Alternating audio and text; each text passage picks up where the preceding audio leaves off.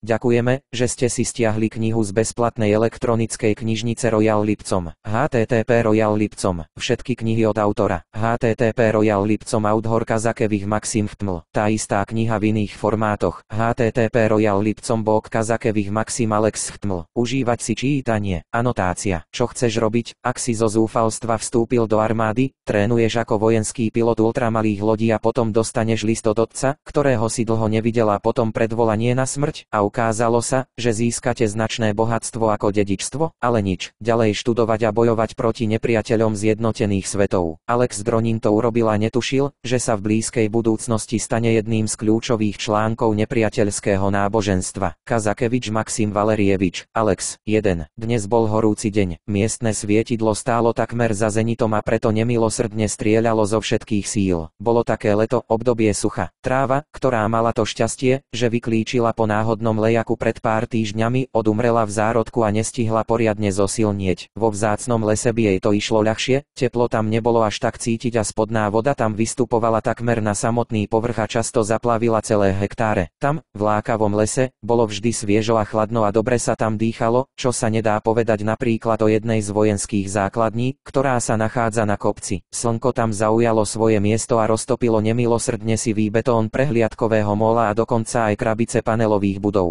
Na poludnie bol povrch prehliadkového móla rozpálený do takej miery, že sa na ňom dalo popáliť. Prirodzene, skvuatot rovný, pokojne, ostro ako výstrel z pištole, zaznel povela 20 kadetov ako jeden sa natiahlo do pozoru. Technik poručík ústou pomaly kráčal po prvej línii a bol potešený, hoci sa na ňo nepozrel. Každý z kadetov mal vyžehlené uniformy a čierne pilotné čižmy vyleštené do lesku. Pokojne, dovolil poručík technik. Četa sa maximálne uvoľnila. Všetkých 20 ľudí oblial potav duchu nadávali na to, čo svet predstavuje ich veliteľovi. Zdalo sa, že Justov ich potrápil zámerne, pokojne kráčal po prvej línii a ovieval sa čiapkou. Tak dúfam, že sú tu všetci položil otázku čisto retoricky, pretože spočítať kadetov bola základná záležitosť a nemohli odtiaľ to ísť. Máme na programe dva body. Prvým je nehrdinské správanie mojej 13. čaty na strelniciach a druhým rozbor prichádzajúcej pošty. Kadeti leteckej akadémie sa rozveselili. Nestáva sa často, že by tu dostali správu návštevu z domu, raz, zriedka dvakrát do mesiaca. Začníme prvou otázkou, poručík prešiel po čiare a zastavil sa až na jej samom konci, kde sa za širokými chrbtami chlapov schovali dve dvojičky. Obaja, vystúpte z radu prikázali mi ústou. Dievčatá si odsúdene povzdychli a boli nútené opustiť druhú líniu a postaviť sa pred poručíka. Ponuro sklonil hlavia ich štyri krátke a tuhé vrku očiky sa natiahli rovnobežne s horizontom. No, čo hovoríš na svoju obranu? Opýtal sa ich otupene technik poručíka pozeral na najprv na jedného alebo druhého kadeta. Nemali žiadne ospravedlnenie a preto dievčatá na Mosúre nemlčali. Jedno z dvojčiaci dokonca aj pričuchlo. Už to neurobíme. Poručík technik sa nevľúdne uškrnul a pozrel na odpovedajúceho, čo ju ešte viac ovislo. Samozrejme, že nie, postarám sa o vás oboch, aby ste zavíjali. Budete v mojom osobnom čase trénovať na strelnici, kým ma to neomrzí. To je jasné, ale my sme nechceli namietali dievčatá a takmer plakali, nevedeli sme. Nevedel, vyzvetlil vám inštruktor, alebo ste nepočuli, ale celý čas sa strieľalo a bolo to veľmi hlasné. Odložte námietky, zastavil poručík plaché pokusy ospravedlniť sa a zavrčal na ňa a rozdrvil mu čiapku mohutnou peťkou. Skoro si zastrelil človeka a je to len tvoja chyba. Hovorilo sa, že strieľalo až po pípnutí, ale čo si do pekla urobil? Na zákrute si len ľahli a okamžite spustili paľbu. To sa, milé dámy, neodpúšťa a incident väčšinou príde posúdiť najvyššia komisia. A po nej by ti svietila tribúna a odpisovala pešiakom. Tvoja má matka, k pechote, v potrave predelá, rozumieš tomu, vaše šťastie, že otec sám nemal záujem o takéto konanie a rozhodol sa vec umlčať, vaše šťastie, že rana sa ukázala ako maličkosť,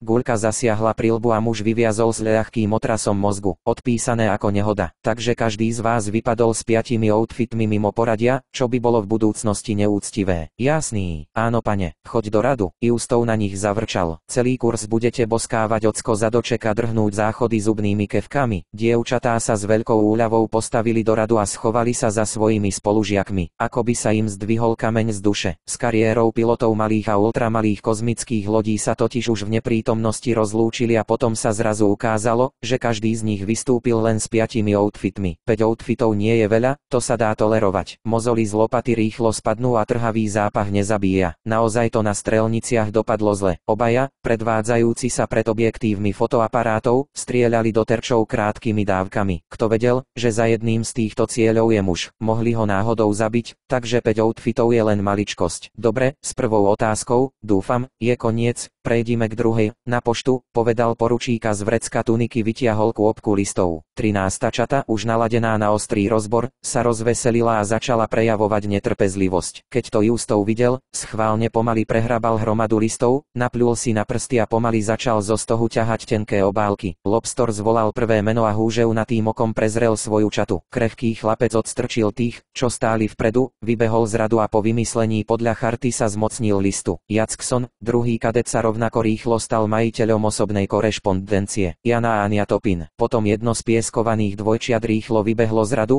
vzalo tri písmená a rovnako rýchlo utieklo späť. Dronin. Dronin Alexej, chlapík niečo cez 20 rokov, v tej chvíli stála zasnene rozjímalo vzdialených zasnežených horách. Nebolo tu úmorné teplo a preto sa tam naozaj chcel nakrátko ocitnúť, ponoriť sa bez hlavo do hlbokej záveje a na chvíľu tak zabudnúť. Nepočúval mená, ktoré tam kričal poručík Justov a preto vynechal svoje priezvisko. Jana jemne zatlačila Alexa do chrbta a zašepkala. Si hluchý, však, máš list. Ten chlap bol veľmi prekvapený, že na jeho meno prišiel nejaký druh pošty, pretože jednoducho nemohla prísť. Nikto mu nemohol posielať žiadne listy. Ale napriek tomu sa Alexej dostal blízko a ako sa na odvážneho kadeta patrí, rýchlo sa do dostal z poriadku a priblížil sa k veliteľovi. Takmer bez toho, aby sa pozrel, mu dal dve obálky a Alex sa opäť vrátil do služby. No, čo je tam? Spýtali sa sestry netrpezlivo a snažili sa mu pozrieť cez rameno. Alexej sa pozrel na spiatočnú adresu na listoch a odpovedal šeptom. Jeden z ministerstva ozbrojených síl, nejaký druh oznámenia a druhý z bojovej lode Migty. Súdiac podľa poštovej pečiatky, bola odoslaná pred dvoma mesiacmi. Vou, ty, obdivovala Jana. Skutočné písmená, nie výtlačok niekto vletel do peknej penny. A od koho je ten druhý list, ten z bojovej lode? Neviem, nie je to tu napísané. V tom čase bola všetká pošta distribuovaná a budova bola považovaná za dokončenú. Poručík technik rozpustil čatu a Alex stúpil na bok, sadol si na dlhú lavicu a otvoril prvý list, ten z bojovej lode Migty. Začalo to dosť zvláštnymi slovami. Prvé, čo čítal, bolo ahoj, syn. Bolo to nečakané prekvapenie, pretože jeho mama zomrela asi pred rokom a na otca si takmer nepamätal. Utiekol od svojej svojej rodiny, keď mal Alex iba 11 rokov. Potom si Alex myslel, že jemu bol cudzí list adresovaný omylom, dokonca si znova prečítal spiatočnú adresu osielateľa a adresu, na ktorú bol odoslaný. Ukázalo sa, že list bol odoslaný na starú domácu adresu, kde Alex posledný rok a pol nebýval. A tam nenašlo adresáta, pretože jeho matka a dve mladšie sestry boli pod hrozbou vonkajšieho nepriateľa nútené evakuovať na inú planétu. Nemali šťastie. Počas presunu ich transportná loď narazila na zatúlanú ženu Minu a Alex zostala sirota, iných príbuzných, ani vzdialených, nemal. Takže list bol naozaj od dávno zabudnutého otca. List bol písaný rukou a súdiac podľa nerovnomerného písma vo veľkom zhone. Písmená v liste skákali v rôznych smeroch a čiary na seba narážali. Otec sa v liste mierne ospravedlnil za to, že od neho tak dlho neprichádzali žiadne správy, vyzvetlil, že je jednoducho unavený z rodinného života a neustálych škandálov kvôli chronickému nedostatku peňazí a preto odišiel slúžiť do armády. Bol stíhacím pilotom a slúžil v druhej vesmírnej flotile na bojovej lodi moguchy. Ako vyzvetlil, vzal si za úlohu napísať list svojej bývalej rodine spontánne, počas jedného stankovaný horúcej bitky. Ponáhľal sa,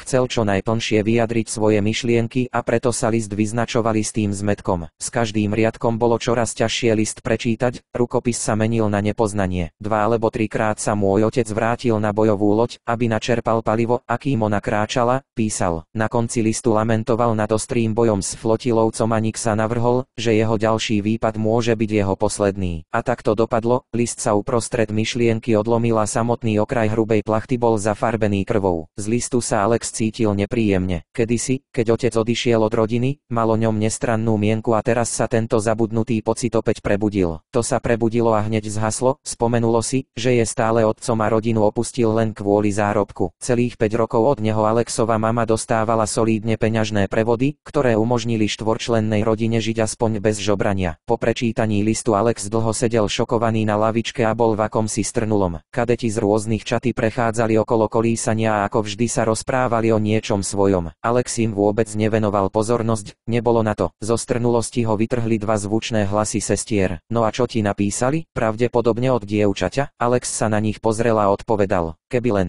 dostal som list od otca. A ten druhý od koho? Ania a Jana tvrdohlavo lies vliezli do vecí iných ľudí, ale Alex im neodpovedal. Sklamane otvoril druhý úradný list a vybral dva listy papiera. Rýchlo prešiel očami jeden po druhom a na mosúrene povedal. Je to úmrtný list. Môj otec zomrel v nemocnici pred dvoma týždňami. Dievčatá okamžite zmenili svoje tváre. Och, Alex, prepáč. Nevedeli sme, povedali pribytí. Prepáčte za čo? Povedal Alexej a mávol na nich rukou. Naozaj si nevedel. Pozrel sa na druhý list listu. Išlo o šekot vlády vo výške takmer 30 tisíc mariek, tak povediac odškodné za hrdinskú smrť a dlh, ktorý splatila vlast. Z nejakého dôvodu zvyšok dňa predtým Alexej pozametal sivé pozadie a takmer si to nepamätal. 2. Pri rannom budíčku Alex ledva otvoril oči. Tú noc takmer nespal, stále myslel na otcov list a preto zaspal až k ránu. Zdalo sa, že iba zavrel oči, otočil sa na druhý bok a o chvíľu ho spolužiaci nemilosrdne zhodili z postele. Technik poručík Justov zakričal na plné hrdlo a oznámil nástup celej čaty. Tých, čo sa zobudili, poslal k východu vzadu a ostatných do kopola vyhodil na ulicu. Alex tiež dostal silný kopanec do zadku a okamžite sa zobudil a vyvalil sa do ranného chladu. Jackson, starší z ich čaty, tam už plne velil. Rýchlo postavil kadetov v stĺpci a justov určili iba režim joggingu. Tri kruhy po obvode. Veliteľ čaty zasalutovala 13. čata prešla do 6 kilometrovej vzdialenosti. Všetci boli už zvyknutí na ranné behy a tak čata dobehla v plnej sile. Po dojazde nasledovali vodné procedúry a raňajky. V jedálni si za stôl s Alexom sadli dve sestry sestry, ako inak. No ako? Spýtal sa jeden z nich. Vyzeráš unavene. Väčšinu noci som nespal, priznal Alex. Čo je to? Je to kvôli listu. Na otca som už zabudol a jedného dňa od neho prišiel lista pohreb. Áno, je to hrozné. Ania a Jana vyzerali z nejakého dôvodu trápne a Alex to videl. Ale on sa s tým netrápil a pokračoval v raňajkách. Dievčatá sedeli a lenivo si vidličkou vyberali kašu. Nechceli jesť. Sestry sa na seba nápadne podobali, jedným slovom, dvojičky. Obaja mali mierne tupý nos s pravidelnými oválnymi šedivými tvárami, svetlé jemné vlasy mala spletené do vrku očikov a tie, akoby zmagnetizované, vždy vstali, boli rovnako vysokí o niečo nižší ako Alex. Jediným rozdielom bola malá, sotva viditeľná znamienka pod Aníným obočím a práve ňou Alex rozlíšil sestry. Ech, povzdychla si Jana, unavená z naháňania zrniek kaše po okraji taniera. A včera nás Justou poslal do kuchyne ošúpať zemiaky. Tvrdo pracovali až do druhej v noci.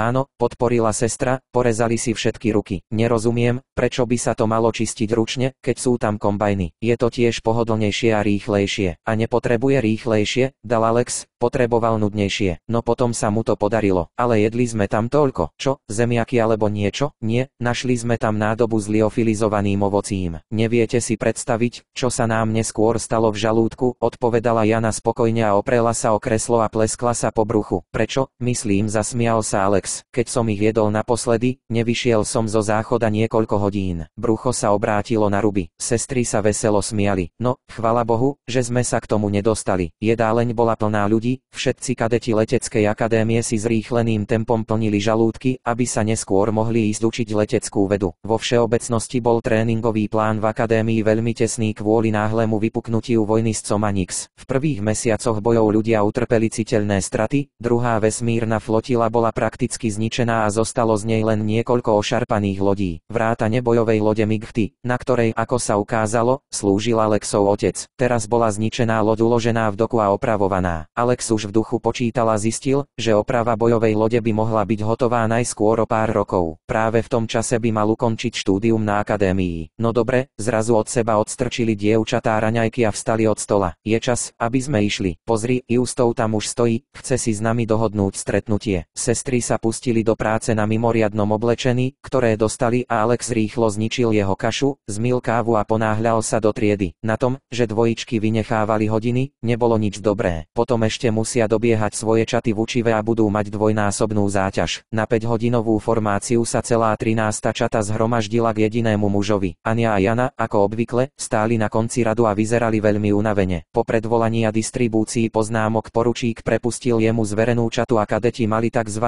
osobný čas. Od pol šiestej do desiatej večer mali absolútne voľno a mohli ísť aj do mesta, čo mnohí urobili. Do mesta ide aj Alex. Potreboval preplatiť pohrebný šek. V tom čase od brán akadémie odišlo prišlo niekoľko autobusov a do jedného z nich nastúpil Alex a dvojičky tam sedeli. Ako obvykle si sadli vedľa Alexa. Čo tu robíš? Spýtal sa ich s miernou mrzutosťou. Niekedy mu takáto posadnutosť zo strany týchto dvoch osôb liezla na nervy a Justov nám to dovolil. Povedal, že zajtra s nami začne vyučovanie. Takže dnes máme voľno. Kam ideš? Do banky odpovedal Alex neochotne. Však musí byť preplatený. Skvelé, tak sme s vami, povedali sestry a Alex nad nimi v duchu mávol rukou. Nech si idú kam chcú. Opo pol hodinu prišiel autobus do mesta a o 20 minút vošli všetci traja do pobočky Národnej banky. Alex pristúpil k jednému z bruchých strážcov a spýtal sa, prepáčte, ale kde si tu môžem preplatiť ček? Tretie okno sucho odpovedal starší strážca a odvrátil sa, sivé fúzy sa mu dôležito vyduli. Alex prešiel k označenému oknu. Mladý úradník pri pohľade na klienta vyčaril služobný úsmev, odložil postriebrené pero a s očakávaním hľadel na mladého kadeta. Ahoj, chcel by som na to dostať všetky peniaze, ale Alex vystrčil šek z okna. Úradník ho vzal, pozorne si ho prezrel, skontroloval pravosť a vyťukal na klávesnici kontrolné číslo. Potom z neho prečítal hologram a niekoľko sekúnd hľadel na monitor. Prepáčte, máte so sebou svoj štatistický token na úmrtný list vášho otca? Spýtal sa z nejakého dôvodu. Áno, môžem sa na to pozrieť? Alexovi to nevadilo. Z náprsného vrecka tuniky vybral úmrtný list, vylovil červený stat tak so žltým priečným pruhom a všetko odovzdal pracovníčke banky. Prijali ich a začal niečo kontrolovať cez svoje databázy. Len chvíľu, prosím požiadal. Dlho sa na niečo pozeral, skontroloval to, zadal požiadavky a nakoniec povedal. Dobré správy, pán Dronin. Okrem 29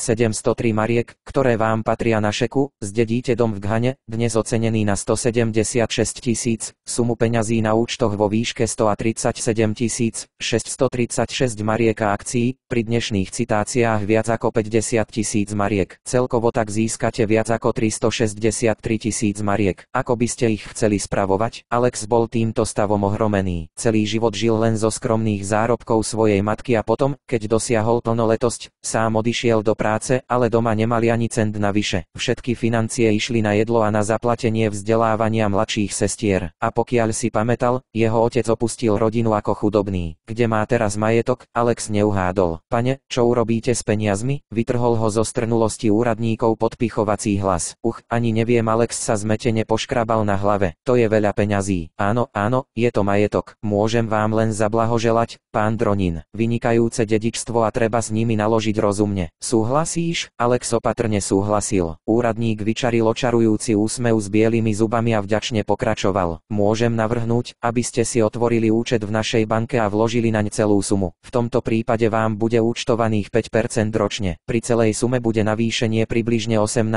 tisíc mariek ročne. Súhlasím, je to veľká suma. Teraz si už nemusíte zarábať na chlieb hrbom. Alex sa zmetene otočil a pozrel na dvojičky. Sedeli na gauči vo vestibule banky a neprítomne pozerali videoklipy v televízii. Nepočúvali Alexov rozhovor. Tak teda rozhodol sa Alex. Myslím, že to urobím. Výborné rozhodnutie, pán Dronin. S šekom a majetkom tvojho otca nie je žiadny problém. A čo dom? S domom? Áno, s domom v Ghane. No, vlastne som to nevidela neviem, či sa to oplatí pre predávať. Ani neviem, kde je táto Ghana. Nie Ghana, pán Dronin, gane opravil ho úradník. Toto je planéta podobná Zemi, priemerná teplota je tam asi 15 stupňov Celzia. Nie sú tam žiadni domorodcia, celú populáciu tvoria ľudia. Ak chceš, môžem ti zavolať fotky tvojho domu. Možno to stojí za pozretie, súhlasil Alex po premýšľaní. Dať dom na predaj bez toho, aby som vedel, čo to je, nebolo veľmi múdre. Úradník sa opäť sklonil nad počítačom, dlho niečo písal na klávesnici a potom ukázal Alexovi fotku domu jeho otca. V kaštieli vo všeobecnosti nebolo nič, dve poschodia a asi tucety zieb. Rozsiahla garáž na dvore bola pôsobivá a bazén so smaragdovou vodou vyzeral jednoducho úchvatne. A cenili ste si tento palác len na 176 tisíc? Čudoval sa Alex. Áno, malo by to stáť aspoň milión. Prečo tak lacno? Vidíte. Začal zamestnanec neochotne vyzvetľovať. Nie ja som ohodnotil tento dom tak nízko, ale miestna realitná spoločnosť z Ghany. Za takú sumu je pripravená ho okamžite kúpiť. A aj tak povedať Ghana je riedko obývaná planéta, hlavným zamestnaním je tam ťažba nerastov. Nie je tam príliš veľa bohatých ľudí a preto nie je toľko poľovníkov, aby si tento dom kúpili. Moja rada je, aby ste ho predali za túto cenu, kým neklesne ešte nižšie. Alex sa znova pozrel na farebné obrázky. Možno zamestnanec hovoril úprimne, len dom vyzeral ako z rozprávky. Nie, takéto byty nemusíte predávať, musíte tam žiť a užívať si život. Navyše sa objavili prostriedky na pohodlnú existenciu nie, radšej si nechám dom. Je mi ľúto, pán Dronin, ale dúfam, že robíte správnu vec. Ale je tu jeden aspekt. Počas neprítomnosti majiteľa sa o dom starajú špeciálne najatí ľudia a náklady na údržbu sú 150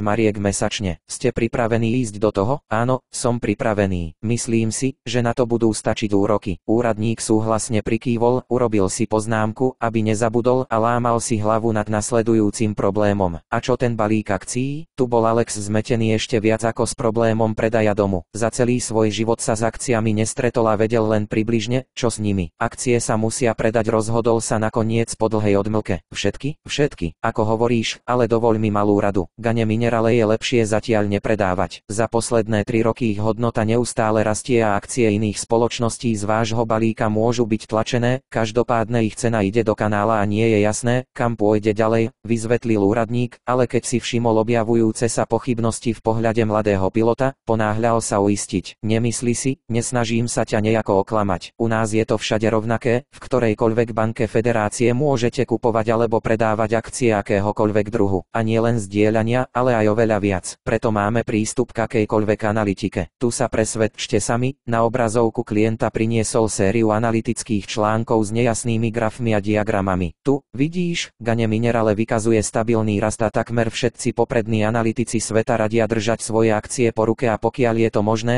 kupovať viac. Ale pozrite sa, o čom píšu napríklad Krusto Machine alebo Borgs. Vidíš, nemal som v úmysle ťa nejako oklamať. Ide len o to, že svoju prácu robím svedomito, preto som vám poradil, aby ste gane minerale nechali vo vašich rukách a zvyšok predali. Ako sa rozhodnete, tak aj urobím. Alex zaváhal. Na jednej strane pochopil, že referenci len robí svoju prácu a na klientovom rozhodnutí mu nezáleží. Tak či onak, banka dostane svoje percentá z operácie. Na druhej strane tomu stále nič nerozumela, preto sa bál urobiť chybu. Gane Minerale, krusto Machine, Borgs alebo nejaká iná firma. Nevedel o nich nič, čo vyrábajú, ako, za čo, aké zisky a náklady. Toto všetko potrebujete vedieť, aby ste sa mohli správne rozhodnúť. Tu musíte byť analytik s liatinovou hlavou. Takto urob, nakoniec zo seba Alex vyžmíkal mučivé rozhodnutie. Dokonca sa aj potil. To znamená, že predávame všetky akcie z balíka, s výnimkou Gane Minerale, povedal úradník. Áno, teda nie riadenie. Predávame všetky nepotrebné akcie a za výťažok kupujeme gane minerale. Výborné rozhodnutie, pán Dronin. Jednoducho geniálne. Za pár rokov sa z vás stane skutočný milionár. Pre úradníka nebolo príliš ťažké urobiť, ako povedal Alex. Pár minút sa pohrával s počítačom a popodnos si mumlal nezrozumiteľné výrazy. No, predali sme nepotrebné akcie a kúpili sme perspektívnejšie. Celkovo na váš otvorený účet pripadá 167 342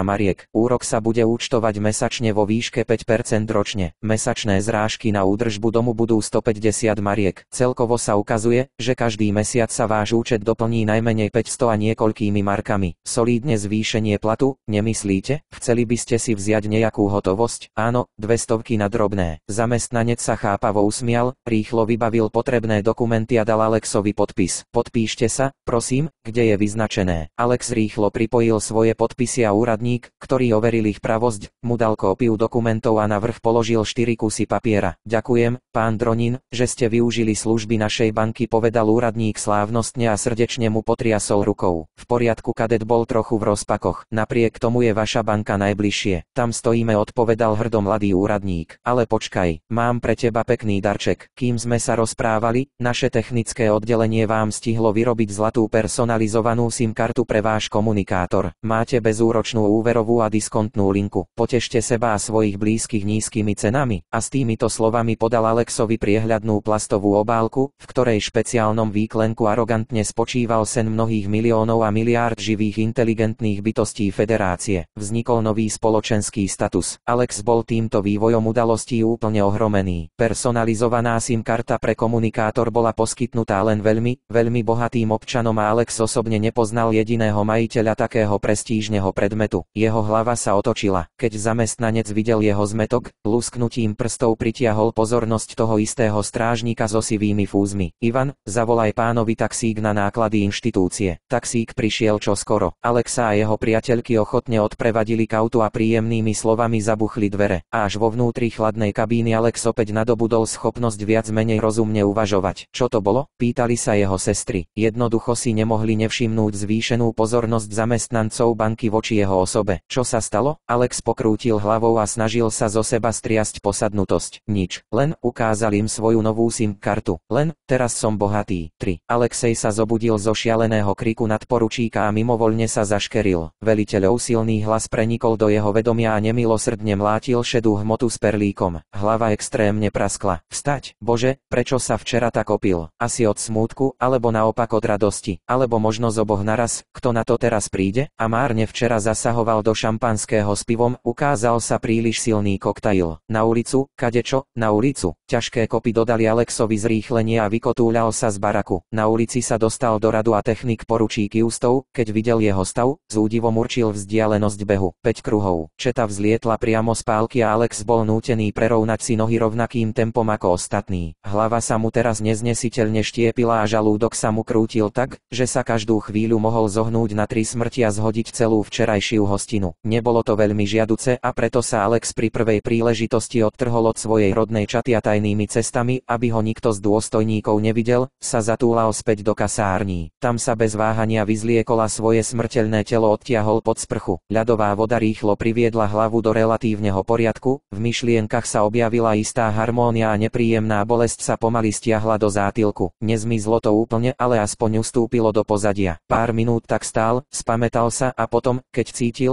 že mrzne, to vzdala pridal ho horúcu vodu do tvrdých sprchových trysiek, čím sa ochladil. Tak sa spametal na ďalších 10 minút, po ktorých sa zrazu rozleteli dvere a dvojičky vtrhli do sprchy, tiež, mimochodom, absolútne neoblečené. Och a ste tu, neboli veľmi vierohodne prekvapení. Mimochodom, sestry si boli podobné nielen v tvárach, ale aj vo všetkom ostatnom. A ich telá boli také, že sa hojdáte. Každá noha bola proste super, úzky pás, ploché brucho a elastické prsia. Len zúžené boky každého z nich nás mierne sklamali, ale to nepokazilo celkový slastný efekt. Sestry svoje čaro pred Alexom vôbec neskrývali a príležitostne Opakovane sa ich snažili predviesť, no zblíženiu sa napriek Alexovým mnohým pokusom vyhýbali. Čo tu robíš? Spýtal sa ich malátne, keď sa mu podarilo otočiť chrbtom. Rovnako ako ty, aj my bojujeme s kocovinou hravo odpovedala jedna zo sestier a pleskla Alexa po zadku tak hlasno, že zalapal po dychu. Aj bolí to. A energicky si potieral rýchlo sa zaplňajúci odtlačok na chudom zadku, spýtal sa. Sotva si pil, akú kocovinu môžeš mať? Čo, čo? Prirodzené. Neberiete do úvahy vlastnosti ženského tela. Ženské telo sa medzi tým ako si až podozrivo rýchlo vyrovnalo s otravou alkoholom a čo skoro sa už dievčatá zabávali a škriekali pod studenými prúdmi vody. Ich škrípanie hmatateľne zasiahlo Alexové ušia bolestivo mu roztrhlo mozog. Prečo si taký vtipný? Spýtal sa zachmúrene. V reakcii na toho veselo poliali fontánou spreja a ešte raz ho hlasno potľapkali po holom zadku. Nebuď čurák, Alex. Pili sme pilulky na kocovinu. Áno, postihnutý okamžite ožil. Sú ešte nejaké? Nie, boli tam len dva kusy a potom ako NZ svet. Vyzerá to tak, že Alex musel trpieť kocovinou. Vypol vodu, potichu vyšiel zo sprchy a obliekol sa. Potom sa pomaly vybral do jedálne. Cestou ho Ania dobehla a vzala ho za ruku. Jana sa rozbehla za ňou a schmatla Alexa z druhej strany. Potom sa sestry na seba pozreli a odtiahli sa. V tichosti kráčali do jedálne. Na raňajky prišli ako prví. Neboli tam ani žiadni dôstojníci. Mlčky si vybrali, čo je chutnejšie a posadili sa za jeden stôl. Alex nečinne šúchal vidličkou do taniera a popíjal horúcu hnusnú kávu kávu. Sestry rýchlo zhotli všetko na oboch lícach a bežali po ďalšie. Postupne sa jedáleň začala zaplňať ľuďmi. Koho to včera napadlo miešať šampanské s pivom? Spýtal sa Alexej na mosúrene a nezdvíhal hlavu spod nosu. Mojáčo? Ania sa nevinne priznala. Mimochodom, posledný škrípanie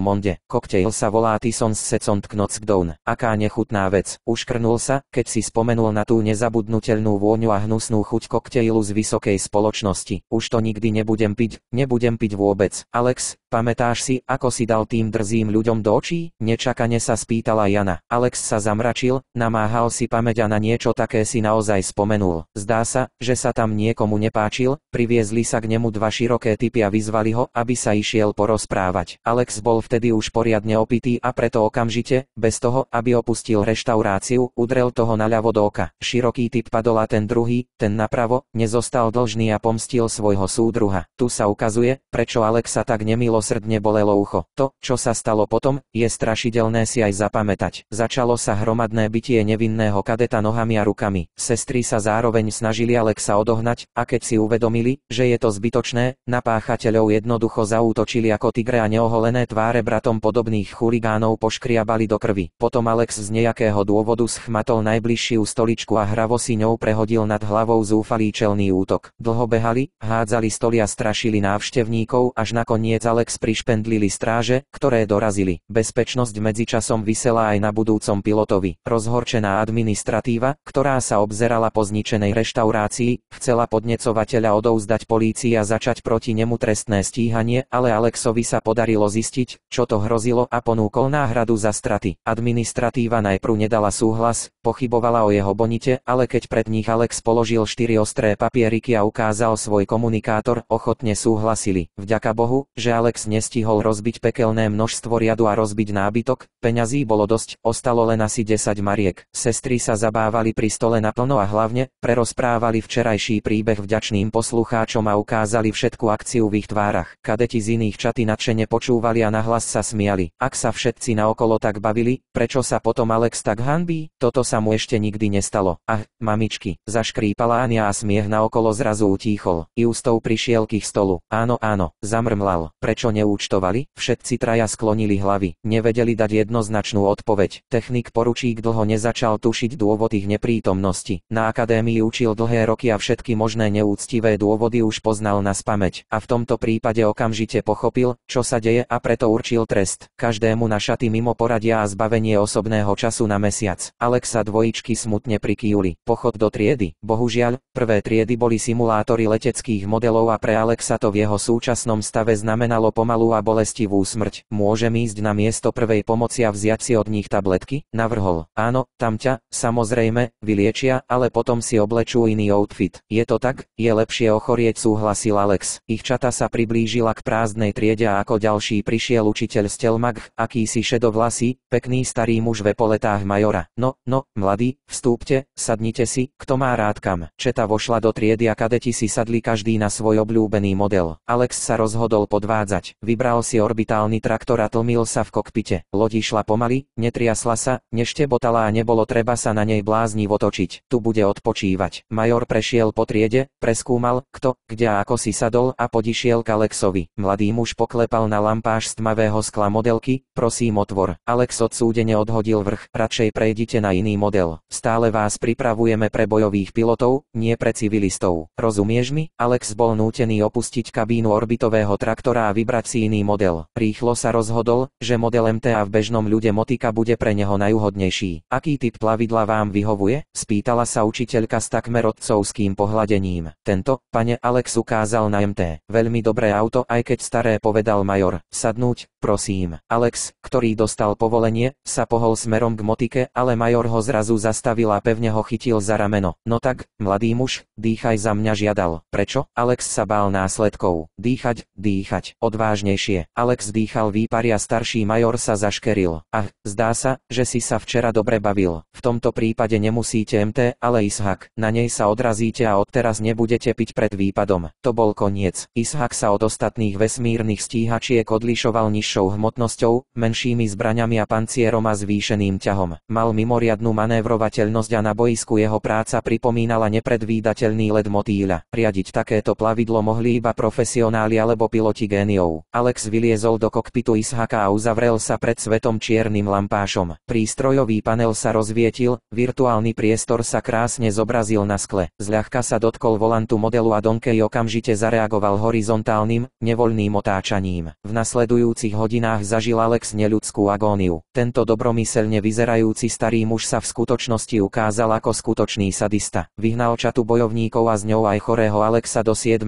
potu. Prinútil ich, aby si vypracovali všetky zručnosti k automatizácii. Naučili ich rýchlo sa prestavať na hlavné postavy, vykonávať nemysliteľné manévre, vyrábať sudy, šmíkačky, slučky, dostať sa preč od rakieta mnoho ďalšieho. Alexovi bolo zo všetkých týchto kotrmelcov a kotrmelcov veľmi zle, no nejakým zázrakom sa stále držal. Na konci vyučovania sa major rozhodol uskutočniť prvý tréningový boj. Rozdelil čatu na dve rovnaké skupiny, pričom nepriateľské lode boli natreté žltým obrysom a ich vlastnou zelenou farbou farbou. Stíhacie skupiny sa rozložili 10 míľ od seba, zoradili sa do bojových formácií a potom sa pomaly približovali. Alex bol v jeho skupine úplne vľavo a sestry boli v radoch jeho protivníka. Keď sa bojovníci zblížili, začal sa obrovský neporiadok. Všetky nadobudnuté zručnosti boli okamžite zabudnuté a cvičná bitka začala pripomínať chaotické prelínanie trysiek s prídavným spaľovaním vyhoreného paliva a stopovacích vejárov kanónov. Alex sa točil nad svoje sily, takže jeho tričko bolo premočené potom. Niekoľkokrát vystrelil na žlté siluety, jedna strela dokonca zasiahla virtuálny trup, ale nepriateľovi to neublížilo. Čo skoro mu na chvost sedeli dvaja MT a Alex hneď uhádol, kto to je. Sestry štuchlí z haka do chvosta aj do hrivy. Nebezpečne blízko k jeho aparátu sa rútili virtuálne rady, no ani jeden z nich nedosiahol cieľ. V tejto bitke nebolo dovolené použiť rakety. Skutočnosť, že Donkey bol lepšie manévrovateľný, poskytla Alexovi miernu výhodu. Sestry nemohli dlho zostať na jeho chvoste. Len čo sa jeden z nich zachytil, Alex jej okamžite prerušil zrak a pokúsil sa ísť za ňou. Málo kedy sa to však podarilo, pretože z jeho zadnej strany sa okamžite objavila druhá sestra a všetko sa muselo robiť odznova. Postupne sa počet zariadení zúčastňujúcich sa na boji znižoval. Takmer polovica stíhačiek bola zničená, dve mali poškodené ťahové prvky, takže na konci bitky zostalo iba 7 zariadení, 3 na jednej strane a 4 na druhej. Alex skončil v menšej skupine. V určitom okamihu na jeho malý Ishak naraz za zautočili tri nepriateľské vozidlá a ich granáty jednomyselne predbehli svoje ciele. Prudko sa rozbehli po trupe Ishaku, až sa Alex mierne zatriasol na stoličke, sklzol po pravých pilónoch a narazil do skleneného krytu kabíny. V myhnutý oka bol lampáš pokrytý jemnou mriežkou prasklý na vnútorný tlak vytlačil oslabenú bariéru do priestoru. Došlo k virtuálnemu odtlakovaniu a Alex sa dostal do kategórie zabitých. Všetky. Sedieť v kokpite Ishaku nemalo zmysel. Alex odhodil lampáž na boka vyliezol von. Prišiel prišiel Magh, veľmi nie dobre, mladý muž, veľmi povedala nesúhlasne pokrútil hlavou. Toto nie je sekera pre vás, ale ishak, prístroj, ktorý si vyžaduje maximálnu pozornosť a presné ovládanie. Odkedy si letel, nemôžeš lietať. Je to samovražedný let. Odteraz si dávajte väčší pozor na presnosť ovládania a nikdy neseďte ku kormidlu opiti alebo v opici. Alex mu rozumel. Ticho prikývol a prijal spravodlivú kritiku. Tu, vezmi si to major mu podal štandardnú pamäťovú kartu. Toto je váš amatér priateľský boj, sledujte s priateľmi vo svojom voľnom čase, nájdite chyby. 4. Bolo len 9 hodín ráno, keď luxusná tmavomodrá limuzína prifrčala k vchodovým dverám osobných apartmánov guvernéra celej planéty Zatizanda. Zastal pri prvých mramorových schodoch a výkonný vrátnik, ktorý rýchlo pribehol k autu, zdvorilo otvoril zadné dvere. Z auta vystúpil chudý muž v strednom veku. Mal na sebe drahý trojdielny oblek, na zápestí mu vyseli zlaté hodinky a na palcoch mu sedel strieborný prsteň s rubínmi. Ten muž sa volal Johan Valoncio a zďaleka nebol posledným človekom na tejto skalnatej planéte. Dobrý deň, pán tajomník pozdravil muža vrátnik. Ahoj, Lek pozdravil späť Valoncio. Ako sa máš? Tento ešte spí? Ako vždy. Jeden? Nie. Má dve mladé dámy. Chápem. Upozornite personál, že som prišiel. Dobre, pán tajomník. Urobím to. Tajomník Valoncio vyšiel po schodoch do haly budovy, pozdravil stráže a služobníctvo. Špeciálne pre neho privolali výťah a vyšiel na posledné desiate poschodie. Celé desiate poschodie bola spálňa guvernéra Gihiliana. Tu prvý človek planéty naberal silu po náročnom dni v práci, niekedy si robil žarty s dievčatami a niekedy, vo výnimočných prípadoch, prijímal hosti a riešil dôležité záležitosti v nevhodných hodinách. Keď vyšiel z výťahu, sekretár Valoncia sa ocitol v malej miestnosti, kde ho čakal jeden z mnohých strážcov. Dobrý deň, pán tajomník potriasol rukou. Ahoj, aké sú novinky? Spýtal sa Valoncio aký vol na dvere vedúce na poschodie na spanie nie, nič nové. Včera som ako obvykle prišiel s dvomi dámami a zabával sa až do polnoci. Všetko je ako obvykle, no tentokrát dámy z nejakého dôvodu kričali prenikavejšie ako zvyčajne. Bolo to počuť aj dole. Chápem, vzala sekretárka na vedomie informáciu a zatlačila dvere do spálne. Tá sa ale oproti očakávaniam neotvorila ako obvykle. Guvernér sa zamkol včera, keď vošiel vyzvetlil strážca. No, gihilianine zvláštnosti neboli cudzie. Sekretárka potichu vybrala kľúč z vrecka nohavíca odomkla otvorila dvere. Potom prekročil pracha v zápetí mu pod nohou niečo zašumelo. Valoncio pozrel dolu a videl, že stojí v mláke hnedočervenej tekutiny. Ale toto nie. Zašepkal s hrôzou sekretár. Rýchlo prešiel k najbližšiemu oknu a odhrnul hrubé závesy. Jasné svetlo preniklo do súmraku vládnuceho v spálni a zvýraznilo neporiadok, ktorý sa vytvoril. Všade na podlahe boli odpadky. Pod stolmi ležal rozbitý riad a prázdne fľaše, zvyšky jedla boli pohodené do kútov v nestetickej hore. Oblečenie je rozhádzané po celej mieste vlastnosti. Ale čo je najhoršie, táto kaluž hnedočervenej tekutiny nebola jediná. Niekoľko ďalších tých istých tajomníkov videlo na iných miestach. Automatizácia úplne roztiahla všetky závesia slnečné svetlo zalialo celé poschodie na spanie. Na širokej posteli niekoho priviedli. Sekretárka podišla k posteli a prudkým pohybom stiahla prikryvku. Vďaka Bohu, všetci žijú pomyslel si s úľavou, keď medzi nimi uvidel dve spiace dievčatá a guvernéra Gihiliana. Všetci traja boli nahý a sekretárka chvíľu obdivovala pekné postavy prostitútok, čo skoro však videl, že ich chrbát a zadok sú pokryté červenými pruhmi. Guvernér sa opäť zabával s bičom. Tajomník sa pri tomto pohľade cítil znechutený. Naklonil sa a udrel najbližšie dievča po stehne. Zobudila sa, otvorila oči a prekvapene hľadela na neznámu tvár. Zobud sa, kráska povedal Valoncio a dievča pomaly sklzlo na okraj postele a posadilo sa. Za svoju nahotu sa nehanbila. Rovnakým spôsobom zobudila aj druhé dievča. Zobudila sa, vtipne, takmer detin Vojensky si pretrela oči pestiami a spýtavo hľadela na sekretárku. Potom si zrejme uvedomila, že je nahá, pritiahla k sebe jeden z vankúšov a prikryla sa ním. To Valoncia prekvapilo, dokonca si myslel, že tento raz guvernér nepriviedol prostitútky, ale obyčajné dievčatá. Jeho pochybnosti však okamžite zmizli, keď prvé dievča, ktoré si pretiahlo šaty cez nahé telo, poznamenalo. Dlhuje nám peniaze. Tisíc. Sekretárka sa s ňou nehádala. Medzi neporiadkom našiel guvernérovú bundu a vylovil peňaženku peňaženku. Tu je pre vás po 500. Teraz odíďte. Dievčatá peniaze koketne zobrali a schovali do hlbokého výstrihu, ale s odchodom sa neponáhľali, rozhodli sa zbaliť sekretárku. Obaja sa šiku smiali, oblizli si šťavnaté pery a pustili sa do útoku na valonciové sexuálne inštinkty. Zdravou gráciou sa jeden z nich prilepil na mužské telo a vrúcne zašepkal. Aký zaujímavý muž, mám ich rád, ako sa voláš a kto si? Detko Pigto. Prudko zvýšil hlas tajomníka hrubo ho odstránil. Okamžite odtiaľ to preč odtlačil ich k východu a druhé dievča sa rozhodlo skúsiť šťastie v obyčajnom texte. Ale nechceš, povedala malátne a vášnivo si zahryzla do spodnej pery. Nechcem, možno, nemôžem. No, tak ty si fešák našpúlila sa. Sekretárka ich oboch postrčila k výťahu a požiadala strážcu, aby odprevadil mladé dámy k východu. Potom zamkol dvere zvnútra a vrátil sa k chrápajúcemu guvernérovi. Vedľa postele bol nočný stolík a na ňom karafa s vodou. Vzal túto karafu, odstránil veko a pomaly nalial vodu na guvernérovu hlavu. Gillian sa pomaly zobudila. Najprv niečo nezreteľne zamrmlala otočil sa na bok. Potom šmátral rukou pri hľadaní prikryvky a keď ju nenašiel,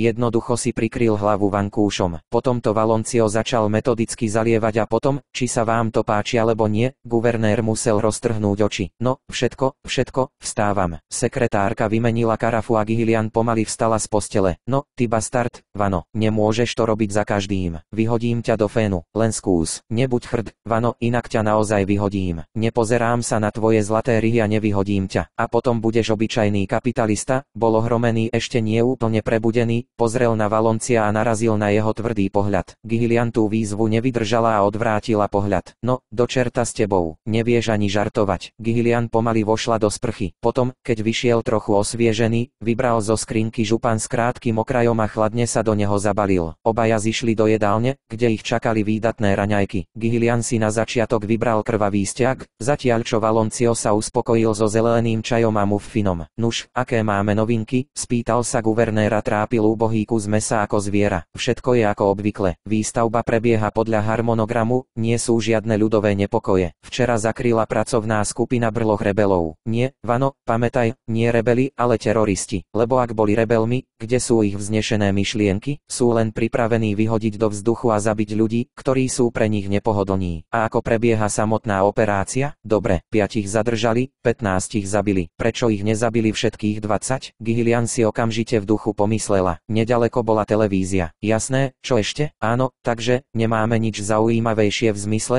vyžadujúce naliehavú pozornosť. A čo federácia? Sekretárka neodpovedala hneď. Pomaly si dal pár dúškov horúceho čaju a oprel sa o elegantné vyrezávané operadlo stoličky. Guvernér trpezlivo čakal, vnútorne nahnevaný na svoju sekretárku a na jeho jeho hlúpy zvyk odkladať odpoveď. Pred pár hodinami došlo k stretu našich s Comanix, povedal nakoniec Valoncio. Výsledkom bolo, že federácia prišla o jednu loď strednej triedy a malá lietadlová loď bola poriadne ošarpaná. Lietadlová loď je už odťahovaná do našich lodeníc. Guvernér sa oprel v kresle a o niečom premýšľal. Potom povedal, všimol si si, Vano, že každý mesiac naši stratia jednu alebo dve lode a niekoľko ďalších ide na opravu a viac ako polovica z nich končí v našich lodeniciach. To je sakra veľa a vie Viete čo, čo, to, keby som mal vôľu a možnosť, zvýšil by som ceny za stavbu a opravu lodí vo svojich lodeniciach o 10%, aj keď si myslím, že 10 je priveľa, ale 4 alebo 5% by bolo akurát, ale bojím sa, že to nezvládnem. Prečo nie? Spýtal sa guvernér, hoci on sám veľmi dobre poznal odpoveď. Guvernér od seba odstrčil prázdny tanier a zobral pohár čierneho džúsu. Vano povedala odpil si, pozri sa z okna, čo vidíš? Sekretárka sa pozrela von oknom. No, mesto, les, rieka a čo, a potom, toto všetko, mesto, les, rieka je len zrnko piesku na našej úbohej planéte. Každý vie, že takmer 90% všetkej pôdy tvoria piesočnaté a skalnaté púšte. Ďalších 10 je viac menej obývateľných, a len 1%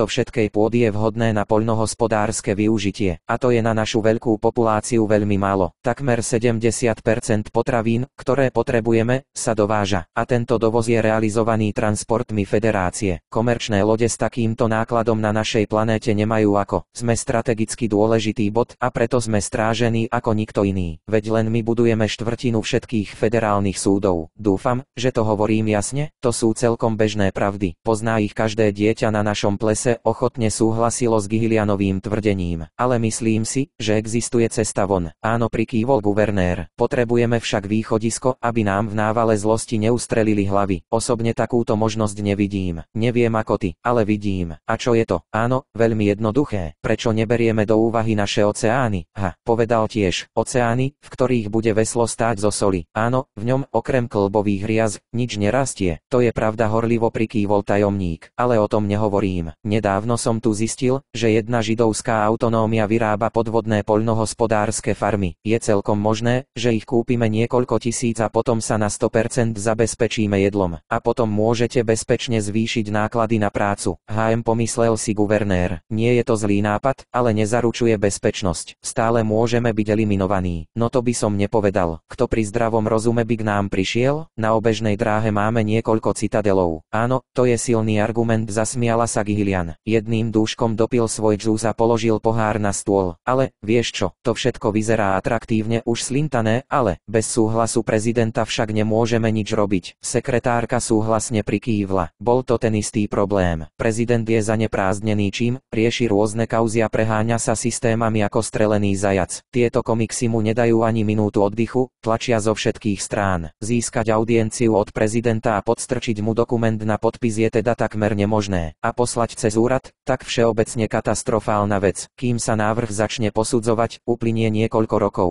Keď sa skončili raňajky, sluhovia upratali riada Gihiliana jeho prvá sekretárka zišli dole. Podávala im dlhá limuzína. Už v salóne si Valoncio spomenul na jednu vec. Mimochodom, upútal pozornosť guvernéra a zavrel sa pred vodičom prepáškou. O dva týždne k nám priletí minister obranného priemyslu. Tvoja matka. Gihilian trpko zaklial. Prečo si bol predtým ticho? Zabudol. Zabudol som. A čo tu potrebuje? Zdá sa, že sa chystá vykonať inšpekciu obranných komplexov a kapacít, hoci skutočný dôvod jeho príchodu možno v skutočnosti len hádať. S inšpekciou, hovoríš, pomyslel si guvernér. To znamená, že bude kontrolovať, ako sa míňajú federálne prostriedky, ako to. Tak potom, vano, majte v poriadku všetky papiere a účty. Nikde nič nevedel nájsť. Samozrejme prikývol Valoncio. Už som vydal potrebné rozkazy. A toto je. Zvýšiť o štvrtinu prídel jedla pre vojenský personál. Bude urobené. Ale musíte minúť NZ.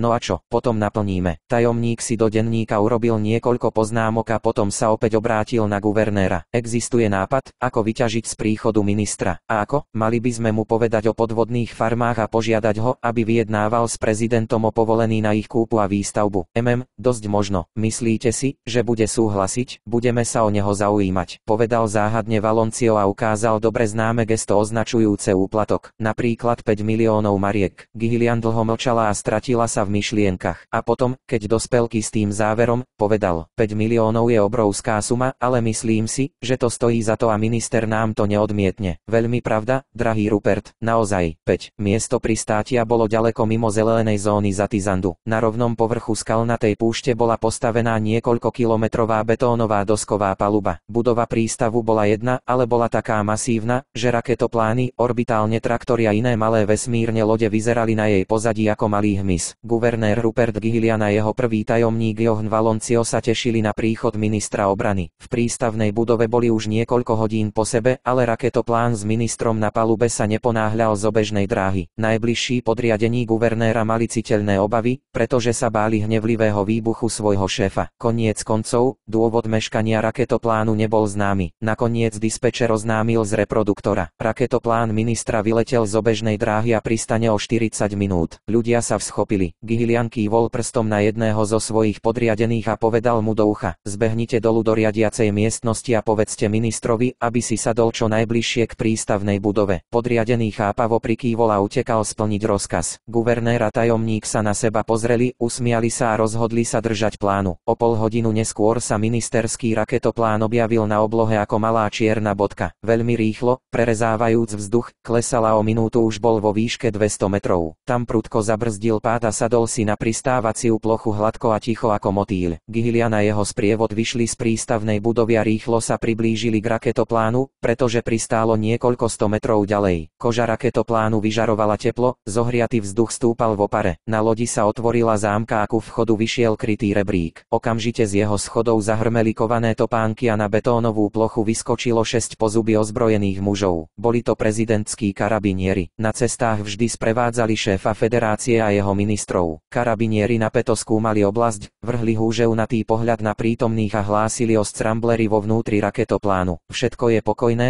môžete ísť von. Minister opustil loď o minútu neskôr. Po ňom nasledovalo ďalších 6 karabinierov a asi tucet ľudí v prísnych šedých oblekoch a s diplomatmi v rukách. Dobrý deň, pán Pajus ponáhľala sa Gihilian pozdraviť. Som veľmi rád, že vás vidím. Ahoj pozdravil minister a spečatil stretnutie podaním ruky. Pozdravil aj prvého tajomníka a ostatným len prikývol. Minister bol chudej a tmavej pleti. Gihilian Fabian sa s ním už niekoľkokrát stretol, takže ho poznal lepšie ako ktokoľvek iný. A tento raz si všimol, že pán Pajus je ako si bledý a veľmi zdržanlivý vo svojich emóciách. Poďme rýchlo do mojej izby ponúkol ministera mierne sa zamračil. Samozrejme súhlasila Gillian. Dali sme vám prezidentský apartmán v hoteli Oceanica vašim ľuďom sme dali apartmán. Mávol rukou a kavalkáda limuzín sa prihrnula k raketoplánu, ktorého chvostu zatvárali dve kolesové tankety. Minister, guvernér a sekretár nastúpili do prvého auta, ostatní ľudia si sadli, kde sa im páčilo. Kolóna limuzín sa otočila, jedna cisterna vošla do čela radu a viedla autá za nimi. Ministra priviezli do hotela Oceanico hodinu a pol. Pri prednom vchode ho už čakala oddelená strážna čata. Náhodných ľudí z hotelovej haly nevyháňali, len ich požiadali, aby neprekážali, aby sa predišlo nedorozumeniam. Usmiatý administrátor si rozdelil šedých ľudí s diplomatmi podľa ich počtu a Gihilian, Valoncio a majiteľ Okeanika boli odprevadení do ministerského prezidentského apartmánu. Za ministrom nasledovalo 12 karabinierov a oddelená strážna čata. A tu, pán minister a vaše prezidentské číslo, otvoril masívne dvere majiteľ Oceanica. Dúfam, že sa vám u nás bude páčiť. Minister Pajus si prezrel výzdobu miestnosti a potešil sa. Povedal, umiestnite mojich ľudí do dvoch susediacich miestností a robte, čo chcú.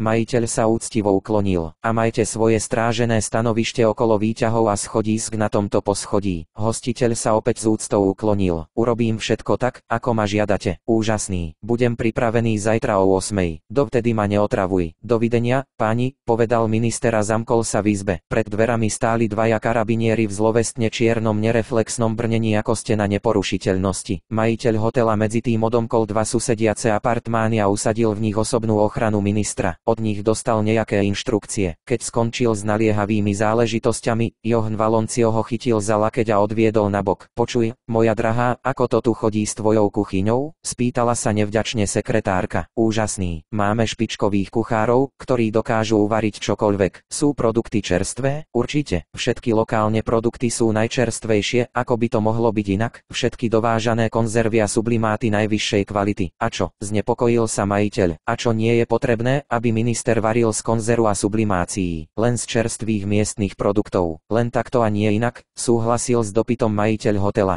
a predsa máte volacie dievčatá? Áno, túto službu si môže u registrátora objednať každý host. To je veľmi zlé, Valoncio sa zamračil. Ak zrazu minister požaduje do svojej izby dievča alebo chlapca, potom musíte povedať, že váš hotel túto intímnu službu neposkytuje. Jasný, ale prečo? Majiteľ hotela nepochopil túto požiadavku. Dievčatá na odpočinok v akomkoľvek hoteli boli štandardnou službou a neboli niečo nezákonné. Pretože je aktívnym bojovníkom proti sexuálnej promiskuite vyzvetlila sa sekretárka zrozumiteľne. Ako potom odbúrava stres, do toho vás nič. Pamätajte si, čo som vám povedal a nič nepokazte. Inak vám znárodním ten mizerný hotel. Rozumeli ste všetkému? Majiteľ oceanice v nemom úžase prikývol a vystrašený ušiel. Teraz matrikárom zakáže o tejto službe nielen rozprávať, ale aj všetky dievčatá vykáže na týždeň na dovolenku. Minister Pajus bol v otázkach sexu naozaj škrupulózny a pred riešením dôležitých vecí mu nestálo za to kaziť náladu. V hostinci už nebolo čo čo robiť a tak Gihiliana celá jeho administratíva odchádzali domov. S guvernérom nastúpili do jednej limuzíny a oddelili sa od vodiča prepáškou. A čo si o ňom myslíš, Vano? Spýtal sa guvernér. Nenáhlivo vytiahol z baru fľašu koniaku a hodil 50 gramov do dvoch hromádok. Jeden vzal pre seba, druhý ponúkol Valoncia. Sekretárka ma škrtu neodmietla. Zatiaľ nič, uvidíme zajtra. Nejaký minister bol zlý. Presne tak. A bledy, súhlasil guvernér. Prečo je? Možno sa to rozprávalo v raketopláne páne, možno, spoločne popíjali, sedeli, vychutnávali tú vynikajúcu chuť. Guvernér vyplnil sekundu. Och, cítim, že niekomu sa zakrúti hlava. Nie len preto, že sem priletel minister. Pripomenie nám aj pád kontajnera z orbitálneho traktora. To si nemyslím, Rupert. Odvtedy ubehlo takmer 6 mesiacov. Ak by išlo o toto, priletel by niekto iný a menší. Prečo by sem na to minister chodil? Pred pár mesiacmi sa na Zatizande stala hrozná tragédia. Na orbitálnom ťahači, ktorý prevážal náklad na na orbitálne lodenice, zrazu odpadol jeden zo spojovacích prvkov a mohutný kontajner vyletel do mesta ako obrovská bomba zo 100-kilometrovej výšky. Protilietadlová posádka pracovala v tej chvíli s oneskorením a náklad spadol na spánkovú oblasť mesta. Potom zomreli stovky ľudí. Guvernér a jeho svorka so strachom očakávali blížiace sa zúčtovanie na najvyššej úrovni, ale nič sa nestalo. Prípad nehody sa rýchlo ututlala príbeh o ňom ani neopustil planétu. Všetci s miernym preľaknutím vystúpili, tak povediac za pískalo pri uchu. Aj keď minister začne hovoriť o tejto tragédii, bude nám to hrať len do karát, pokračoval v rozhovore tajomník. Páči sa ti to? Ide len o to, že ak sa vás na to spýta, potom sa môžete ospravedlniť skromným prídelom vojenského personálu. Povedzme, že pri takýchto problémoch s jedlom nemôže byť reč o žiadnej vážnej obrannej schopnosti. A potom plynule preložiť rozhovor o kúpe podvodných fariem. Bude musieť súhlasiť, že nám pomôže, nebude musieť dať ani úplatok. Gihilian prevalcoval druhého stôl stopárika a oprel sa dozadu. No, do čerta, Vano, tia líška, obdivoval navrhovaný východ, oklameš vlastnú matku, vďaka za pochvalu. Čo myslíte, som jeden z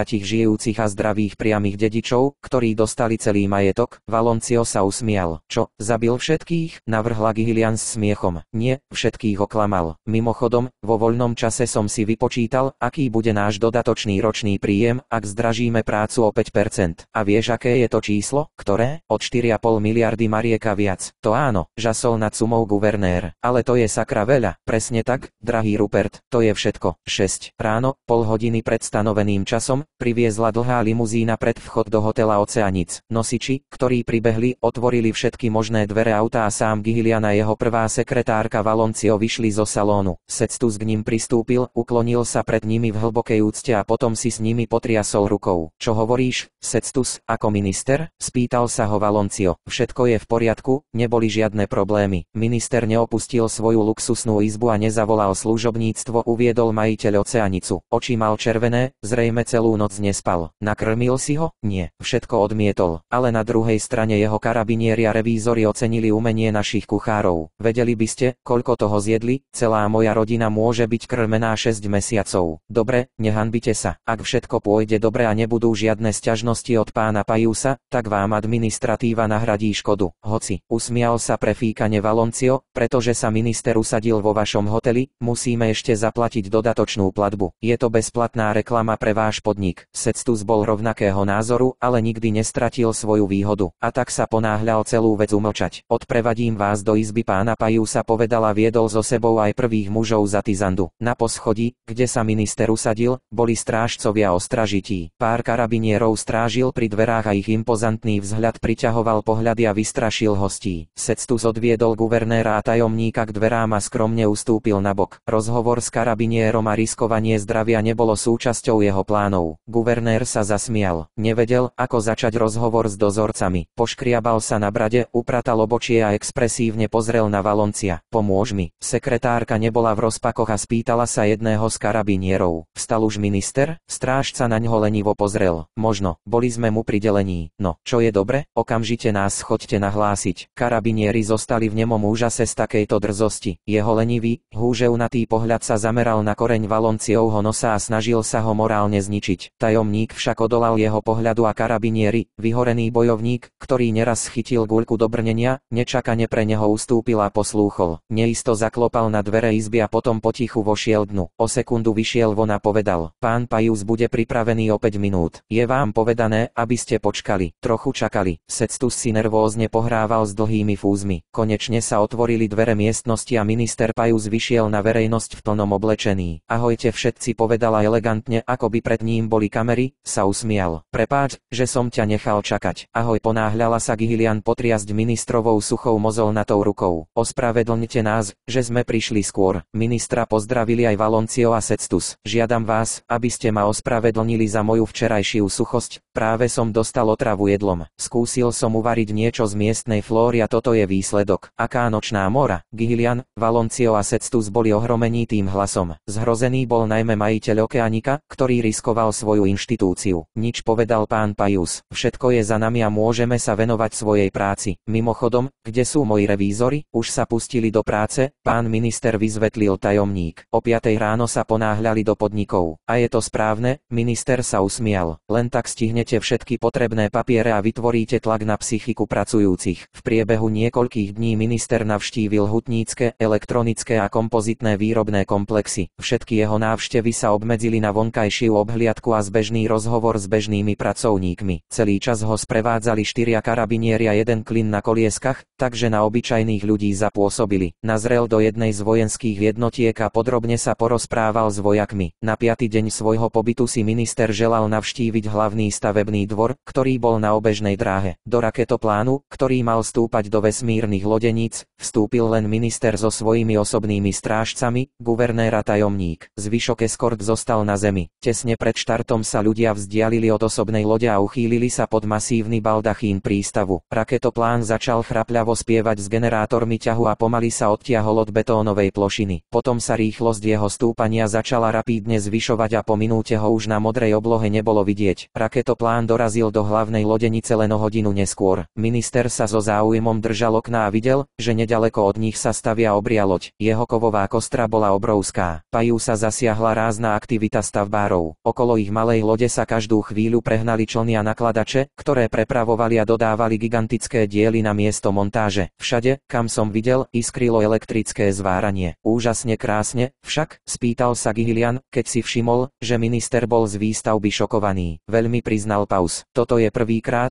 čo vidím takýto rozsah vodách. Čo to bude? Súdiac podľa veľkosti, nie menej ako bojová loď. Bude to stredná bojová loď Sigismund povedal Valoncio. Zaujímal sa viac o záležitosti lodeníc ako jeho šéfa vedel, kde a čo stavať. Pre federálnu armádu a ako dlho bude trvať výstavba? Asi rok a pol. Tak rýchlo? Úžasné. Je to ako postaviť nový dom za tri týždne. Svoj chlieb nejete pre nič za nič. Raketoplán sa medzi tým priblížil k bráne obytného komplexu lodenice a úspešne zakodvil. Tlak cez palubu sa vyrovnal, závierka sa posunula na boka ľudia opustili raketoplán, pričom sa zhlboka nadýchli špecifickej vône miestneho vzduchu. Minister sa dusil a kažlal. Ako sa im tu žije, je tam poriadny smrad, povedal s citom po odznení kašľa. Je to pravda, je tu niečo dosť páchnuce súhlasil Gihilian. Zastavil jedného z nečinných robotníkov a spýtal sa ho. Hej, prečo to tu tak smrdí? Robotník sa prekvapene zaškeril, nozdrami nasával vzduch a nič necítil. Potom ho napadlo tušenie, rozopol si vrchnú časť kombinézia strčil si nos do podpazušia. Potom sa jeho tvár stala tak smutnou, smutnou a jemne zakričal. Prepáčte, idem sa umyť. Hlúpe odsekla Gihilian. Nehovorím s tebou, ale o tvojom vzduchu. Prečo páchne ako hovno? Aha, uhádol napokon neumytý robotník, tak to myslíš. A ja som si myslel. A tuto smrdí sračkami, pretože je to svinstvo. Pred tromi týždňami prasklo hlavné kanalizačné potrubie na spodnom poschodí a všetko hovno bolo pod našimi nohami. Potom sa to všetko samozrejme odstránilo, ale vôňa pretrvávala dlho. Prečo prečo nevybledne, kam pôjde, vonku je nepretržité tesnenie a vákuum, a vzduchové filtre sú úplne obnovené, koľkokrát žiadali úrady, aby dali nové. Gihilian mal horúcu túžbu udrieť tohto robotníka do krku natoľko, že odletel do vzdialeného rohu miestnosti, ale tajomník vycítil situáciu včas a odvrátil pozornosť guvernéra svojim návrhom. Poďme navštíviť vedúceho lodenice, musí mať čistý vzduch. Minister túto myšlienku rád podporil. Držiac sa za nos sa rýchlo dostali k výťahu a vyšplhali sa na úroveň úroveň, kde sa nachádzali obývačky a kancelárie manažérov. Rýchlo našli kanceláriu vedúceho lodenice a v neorganizovanom dave vtrhli do prijímacej miestnosti, čo mladú sekretárku veľmi vystrašilo. Dievča sa v tom momente snažilo opraviť si neustále sklzajúcu podprsenku, ktorá bola o číslo alebo dve väčšia ako jej skutočné poprsie. Ach, začervenala sa sekretárka a schovala ruky pod stôl. Okamžite uhádla, kto je pred ňou, hoci ani jedného z nich v živote nevidela. Minister, guvernér a prvý tajomník boli pre ňu takmer polobohovia a štyria karabinieri s obrovskými zbraňami sa zdali jej bezohľadným vraždiacim maniakom, čo však nebolo až tak ďaleko od pravdy. Každý z karabinierov mohol bez váhania použiť svoje zbrane, čisto reflexné. Aha, nemám doma pána Ivanova povedala sekretárka potichu, keď pominuli prvé rozpaky. No nič, počkáme si na neho, povedal Valoncio. Otvoril dvere vedúce do kancelárie manažéra a celá skupina vošla do priestrannej miestnosti. Tu miazmustok nebolo vôbec cítiť a traja vyb mohli voľne voľne dýchať. Kancelária konateľa bola zariadená blahobytom. Stôl a stoličky boli z prírodného ebenu. Tapety, závesia rôzne volány vytvorili v miestnosti nepracovnú atmosféru a na vysokom strope vysel veľký trblietavý luster vyrobený z pravého horského kryštáľu. Gihilian nebadateľne štuchol lakťom do tajomníka a zašepkal mu do ucha. Nie, len sa pozri, Vano, ako sa tu usadil. Ani ja také niečo nemám, ukázal na luster, nijako inak nás neokráda. Musíme ho dať skontrolovať. Valoncio mierne prikývol a odpovedal šeptom, ako hovoríte, ale najprv nech minister odletí so svojimi krvilačnými psami. V kancelárii manažéra bolo hrubé okno na celú stenu. Minister odhrnul hrubé závesy a otvorila sa pred ním celá lodenica. Z kancelárie bolo vidieť každú budovu. Pajus ľahko našiel kostru Žigmunda a poznamenal, že ostatné rozostavané lode boli len o niečo menšie ako táto bojová loď. A povedzte, máte všetky lode zhromaždené vo vesmíre? Spýtal sa zrazu a prerušil šepkanie guvernéra a tajomníka. Áno, takmer všetky povedal Valoncio, okrem malých a ultramalých kozmických lodí, je lepšie ich zbierať na Zemi. A prečo sa veľké lode nedajú zostaviť aj na súši? Môžeš, prečo nie? Ale potom, keď je loď postavená a začne sa pohybovať na obežnej dráhe, jej motory môžu spôsobiť obrovské škody na ekológii planéty. Preto mnohí radšej stavajú veľké lode na obežnej dráhe, aj keď je to nepríjemnejšie, ale nie je tam žiadna bolesť hlavy. Chápem. A prečo má táto rozostavaná bojová loď také zvláštne meno, Žikmund? A čo to znamená? Neviem, pokrčila sekretárka plecami. Dokumentácia k nám prichádza už s pridelenými menami. Mimochodom, o dva mesiace tu začnú stavať mínolovku Siegfried. Doriti, aké meno? Bez fľaše sa nedá piť, žartoval minister. Potom navrhujem drink, vložil sa do dialógu nečakane guvernér. Mám fľašu pravého koňaku. Reálny? Minister sa na chvíľu zamyslel. Myslím si, že nie je hriech dať si dúšok toho pravého. Guvernér s radosťou vylovil zo záhybou saka litrovú fľašu a podal ju minister ostrovy. Pán Pajus odskrutkoval zátku a zhlboka sa napil. Zavrčal od rozkoše, oňuchal na voňanú chlopňu saka a vrátil fľašu jej majiteľovi. Silná infekcia, ale príjemná. Guvernér si dal tiež niekoľko veľkých dúškov a sekretárka si odpila len trochu, usrkla pre spoločnosť. To je nádhera, vrátil sa minister opäť k prehliadke rozostavaných lodí. Žalúdok mu už hrial príjemný plamienok koňaku. Ja, páni, som na vašej planéte už 5 deň a až teraz som prvýkrát videl naozaj krásny pohľad. A tam dole dole, len sa neurážajte, nebolo tam pre mňa nič zaujímavé. Vaša planéta je pevná púšť a podniky, ktoré sme skontrolovali, sú takmer v dokonalom poriadku. Je to hnus, nie sa na čo sťažovať. Guvernér a tajomník sa v duchu tešili a napätie, ktoré ich posledné tri týždne držalo ako železná obruč, opadlo. Gihilian prenikla do širokého, pochabého úsmevu. Ako inak, pán minister, toto je jediný spôsob, ako by sme mali pracovať. Áno, áno, tak vravím, to je hnus, súhlasne prikývol minister. Nemám rád rád, keď je niečo príliš dokonalé, to je podozrivé, tak počkaj na špinavý trik, daj mi ďalší drink alebo niečo, zo smútku. Gihilian trasúcimi sa rukami podal ministrovi fľašu koňaku. Bál sa, že vysoký úradník zrazu pocítil vo svojom kostnatom zadku nejaký trik a preto by v tej chvíli nemal začať rozprávať okupovaný fariem. A kedy sa objaví ďalšia príležitosť, dalo sa len hádať, možno rok, možno nikdy. Zachránený ako obvykle, Valoncio. V skutočnosti, pán minister, u nás nie je všetko ako také hladké povedal podsúvavo. Takto? Pán Pajus okamžite ožil. Prečo si bol ticho? Hovor. Uch, nedávno sme objavili veľký finančný podvod v jednom z podnikov. Tesne pred vašou návštevou sme vyčistili všetky chvosty. A aký veľký podvod? 2 milióny mariek. No, to nie je vážne sklamanie pretiahol minister. Tajomník sa okamžite opravil. 5 miliónov. Robíš si srandu? 5 miliónov nie je moja úroveň. Prepáčte, pomýlil som sa. Podvod bol vo výške 10 miliónov mariek. Vs celkom zdvihol ukazovák, to je ďalšia vec, tu sa to malo začať. Informujte sa u vás? Áno, no. Valoncio vytiahol z vnútorného vrecka Sakašeka bezodkladne doň vložil sumu 10 miliónov. Potom sa tam podpísal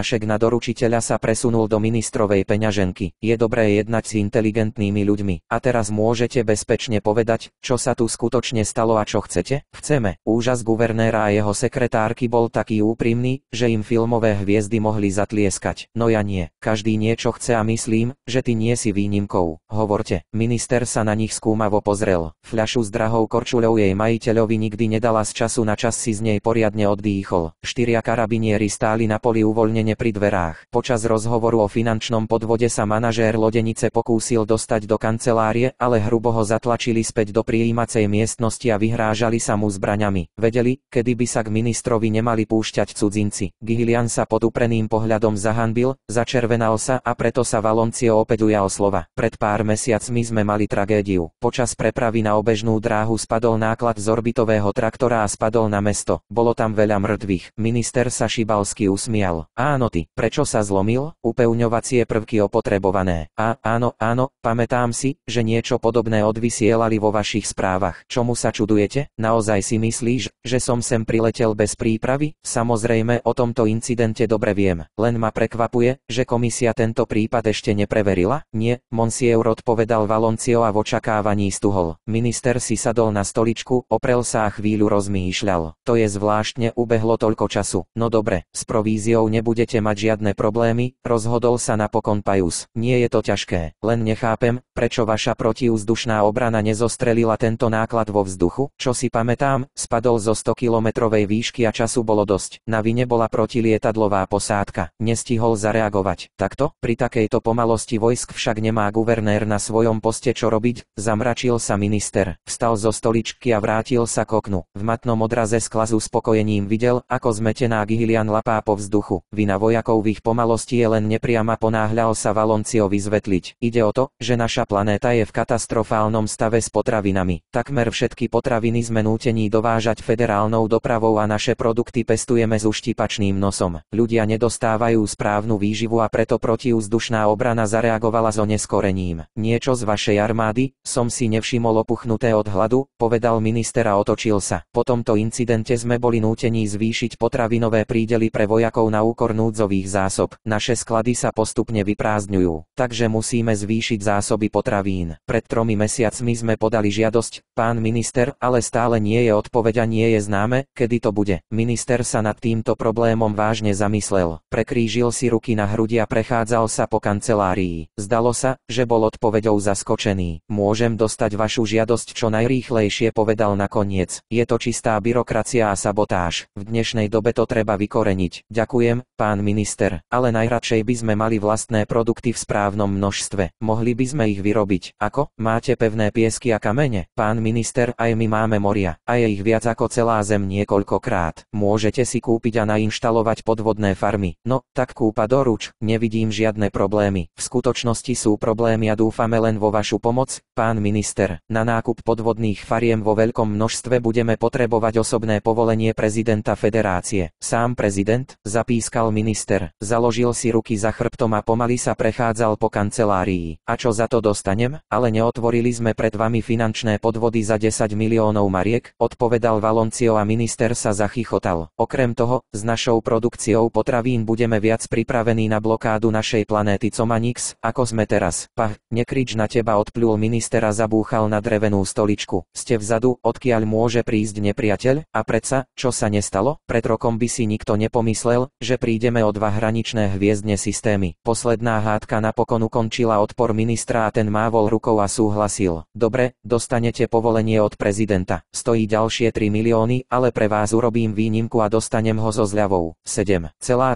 čata, každý jeden človek bol v triede triede simulátorov leteckých modelov. Nenašiel sa ani jeden, kto by túto lekciu vynechal, pretože prípad bol výnimočný. Hlavný učiteľ usporiadal miniturnaj medzi čatami jednej výzvy o titul najlepšieho pilota a možnosť ďalšej účasti na veľkom turnaji medzi všetkými let akadémií. V plnej sile bola prítomná aj 17.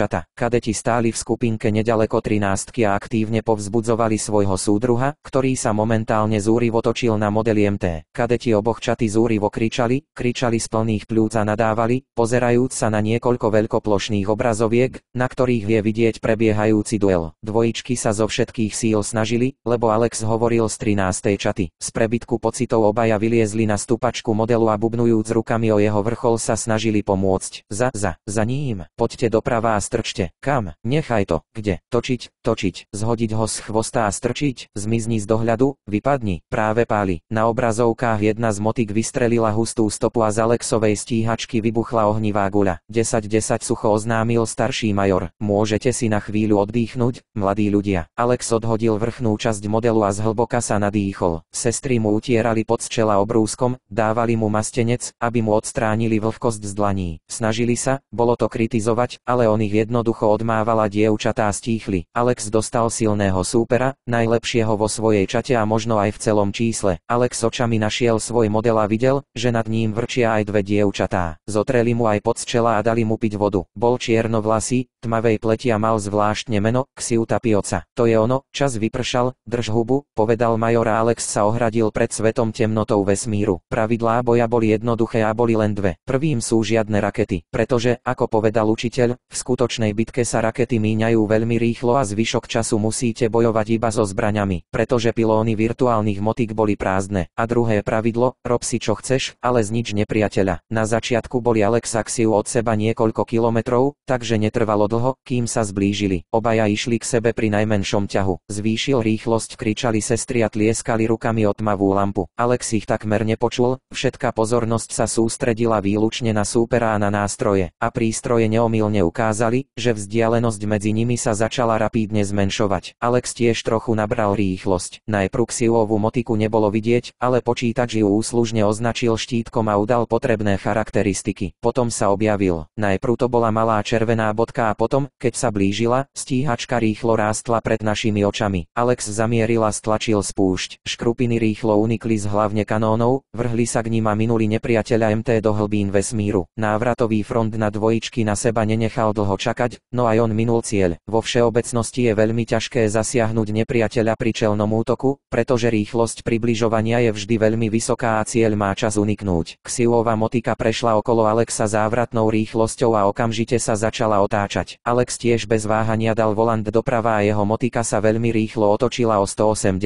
Otočil sa rýchlejšie ako nepriateľ, pretože nájazdová rýchlosť jeho lode bola spočiatku nižšia. MTX ju urobil obrovský oblúk pri maximálnom ťahu a tak dokonale orámoval svoju stranu. Alex pridal plyn a začal ísť do chvosta nepriateľa. Xiu to videl, ale nemohol proti tomu nič urobiť. Prevrátil sa ešte viac a zabrzdil, dúfajúc, že Alex Alexova stíhačka v plnej rýchlosti preklzne okolo a tým sa postaví, ale uvoľnil svoje manéver a tiež spomalil a otočil sa na bok. Dve motiky sa roztočili v smrteľnom kolotoči. Alexovi sa podarilo posadiť sa na chvost a teraz si urobil neskutočné kotrmelce. Krátke a dlhé behy lemovali čierny priestor. Alex často strieľal z dvoch dvojitých kanónov a jeho náboje lietali veľmi blízko červeného plavidla. Niekoľko z nich dokonca zasiahlo trup lietadla, ale nespôsobilo žiadnu hmatateľnú škodu stíhačke. Xiuov zadný kanón vystrelil elektromagnetické impulzy, čím vyradil Alexov počítač z cieľovej palby. Takáto hanba však nemohla dlho pokračovať a zameriavací systém si stále dokázal pevne vziať svoju obeď. Alex horúčkovito stlačil spúšťa stíhačka Xiu sa začala rozpadať na veľké úlomky, ako by spadla do obrieho drviča. 11.10 počul Alex majorov hlas. Potom začul jasot svojej čaty a najmä radostné výkriky sestier dvojčiek. Ruky sa mu triasli, podstekal po čele a rukoveď volantu bola šmykľavá, až sa to ne nedalo. Alex si rukávom utrel pod čela a utrel si tvár. Takže, mladý, máme čas na ďalšiu krátku bitku povedal opäť učiteľ. Poprosím ťa na hranicu. Alex opäť prevzal kormidlo. Boli hodení späť na pôvodné pozície. Začali sa k sebe pomaly približovať a postupne zvyšovali rýchlosť. Keď sa bojovníci priblížili na vzdialenosť namierenej strely, obaja spustili paľbu zo všetkých kmeňov. Obaja minuli. Ako prvý sa otočil k Siu. Trhnutím zdvihol motiku. Alex zopakoval svoj ťah mysliaci, že súper sa rozhodol len preskočiť a potom Xiu prudko zložil svoju stíhačku a šiel pod modré brucho Alex niekam dozadu. Alex si nestihol všimnúť, kam zmizol a preto ho stratil z dohľadu, ale počítač úslužne ukázal, kde je súperová motika. Alex sa otočil na svojej osi a vošiel s autom do úzkej slučky. Potom však celkom nečakane vletel do tela jeho motiky elektromagnetický náboj a palubná elektronika sa ním zadusila. Indikátory na prístrojovej doske aktívne blikali a potom, ako by na zavolanie, okamžite zhasli. Palubný počítač špinavo nadával na monitor zameriavacieho rámu s nezrozumiteľnými symbolmi a rozhodol sa pre reštart. Teraz bol Alex celú minútu slepý a stal sa ľahkým terčom, ale motory stále fungovali a zrejme ešte nezomreli. Loď poslúchla kormidlo a zbraň fungovala, Alex sa to naučil s tlačením spúšte. Stále sa teda dalo bojovať o prežitie, hlavné bolo čakať na úplné preťaženie všetkej palubnej elektroniky. Rýchlo sa rozhliadol, nevidel červenú nepriateľskú motiku, ale pre prípad, že by urobil plný Zelený suta prudko ustúpil na bok. práve včas, prázdne miesto, kde sa práve nachádzal, roztrhol dlhý rad. Väčšina škrupín prešla okolo, ale niekoľko kusov stále zasiahlo trupa vytrhlo kus kože. Alex mal v tejto chvíli, čo i len chvíľu, sakra šťastie a jeho auto by bolo nemilosrdne prestrelené ako na strelnici. Tam sa však jeho šťastie skončilo. Bez palubnej elektroniky bol slepý a bezbranný. Ksiu mal smrteľný zovretý zadok a nebolo možné ho odtiaľ vyhodiť. S každou zákrutou sa červené MT približovalo a približovalo a napokon prišiel moment, keď sa jeho ďalšia dávka dvojdiel úplne zahrízla do modrej stíhačky. Letový model, v ktorom sedel Alex, sa mierne triasol, ako by doňho naozaj strieľalo a kabínu zvnútra rozžiarilo ohnivé červené svetlo. 17.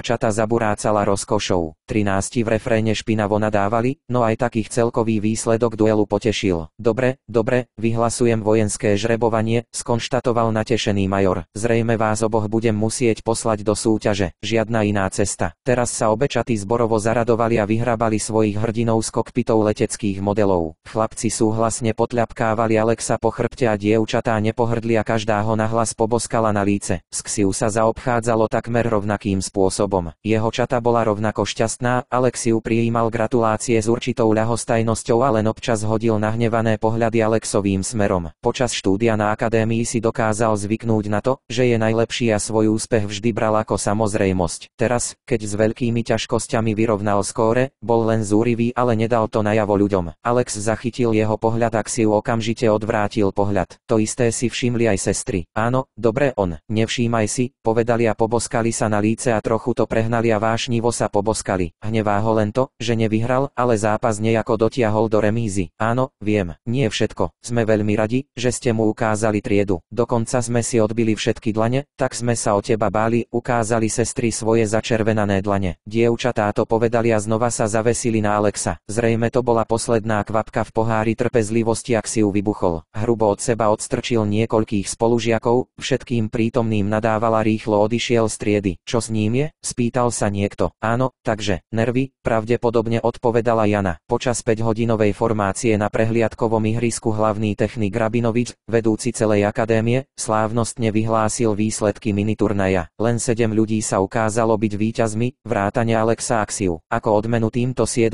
hlavný technik oznámil osobnú pochvalu, ktorú zapísal do osobného spisu Alexu a každému pridelil hodnosť seržanta. Takže teraz bol Alexo celú hlavu nad svojou čatou a každý kadet ho musel oslovovať pred ponou pane. A na konci štúdia mu mohla byť okamžite udelená hodnosť technik poručíka možnosť vybrať si miesto svojej budúcej služby. A stálo to veľa. Po 5-hodinovej formácii kadeti začali osobák. Mnohí z nich išli do mesta, aby si tam oddychli a niektorí zostali v centre, niekto nikam nechcel ísť a niekto bol potrestaný. Alex zostal. Nemal chuť sa túlať po baroch, obchodoch a diskotékach. Ania a Jana tiež nikam nešli. Obaja si sadli do komunikačného centra k telefónom a začali obvolávať všetkých svojich príbuzných, priateľky a len známych. Alex sa bezcielne túlal po budove akadémie, ležal na posteli v kasárňach a snažil sa čítať čokoľvek, čo bolo v knižnici. Keď bol späť na prehliadkovom ihrisku, uvidel tam Xiu. Už mal nové seržantské polety a insígnie. Xiu si všimol Alexa a pomaly sa k nemu priblížil. Zastavil sa, nevedel, ako nadviazať rozhovor. Alex pomohol. Gratulujem povedal vysiela kývol na čerstvé polety. Ďakujem, odpovedal Xiu. Z vrecka vytiahol obdlžníkovú kovovú škatuľu s vyrazeným štátnym znakom federácie a podal ju svojmu nedávnemu rivalovi. Čo to je? Nová hodnosť. Major požiadalo schválenie. Alex vzal krabicu a opatrne ju otvoril. Vnútri na červenom zamate ležali na rukávoch seržantské odznaky a nové polety. Na veku bol gumičkou pripevnený rozkaz udeliť Alexovi Droninovi hodnosť seržanta. Ďakujem. Vôbec nie zasmial sa Xiu. Chcel ešte niečo povedať. Váhal z nohy na nohu, ale potom si to rozmyslel, otočil sa a rýchlo odišiel smerom ku kontrolnému stanovisku. Čakali ho tam dvaja kamaráti. V kasárňach Alex odstránil všetky staré kadecké nášivky z uniformy a pripevnil nové. Znovu sa obliekol, vyhladil vrázky a otočil sa pred zrkadlom. Potešil sa. Blahoželám, pane povedal neznámy kadet, ktorý prechádzal okolo. Ďakujem šťastne odpovedal Alex. Chvíľu sa prechádzal po akadémii, s potešením si všimol, ako sa zmenil jeho status a potom vstúpil do komunity komunikačného centra. Tam ho ocenili jeho sestry. Pani, kto k nám prišiel? Pán seržant sám. Zvolala Jana a zdvihla zrak od rozhovoru. Ania tiež prerušila rozhovor po telefóne, vstala a hravo sa posmešne uklonila pred Alexom ako pred korunovanou dámou. Dobrý deň, pane povedala hravo. Alex ju jemne pleskol pod dňa a Ania sa narovnala. Prestaň sa vysmievať. Nič sa medzi nami nezmenilo. Áno, sestry sa na seba pozreli. A ako nový titul netlačí na plecia? Pravdepodobne nie. Kedy sa budeme umývať? Aj zajtra ale po tom incidente som prestal piť, ale mi nie, schválil dievčatá, pite nám šampanské, víno, potom prinesieš do postele, vyzlečieš, ľahneš a, a, a je to, čo chceš,